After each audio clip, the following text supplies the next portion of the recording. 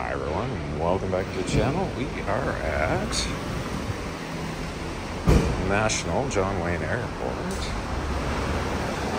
And so they don't have, they're not operating aisles currently. So you need to check in at the booth and see what they have. Oh, there's one of those new BMWs. I'm just walking down here to see if I can find a Camaro.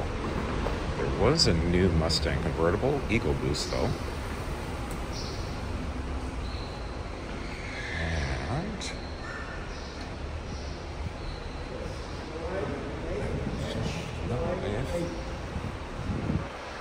yeah, so I guess just kind of operating like everything's reserved.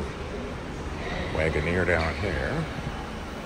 And then this guy's probably pulling out of that spot. see BMW.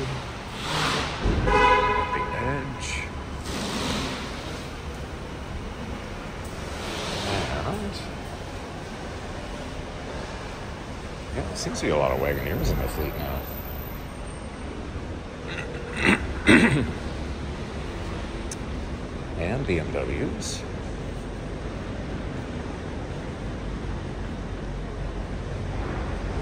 Minivans, Audis, and it's quite more, quite a few more cars on the other side. I see some Audis over there. There's that new uh, Mustang convertible.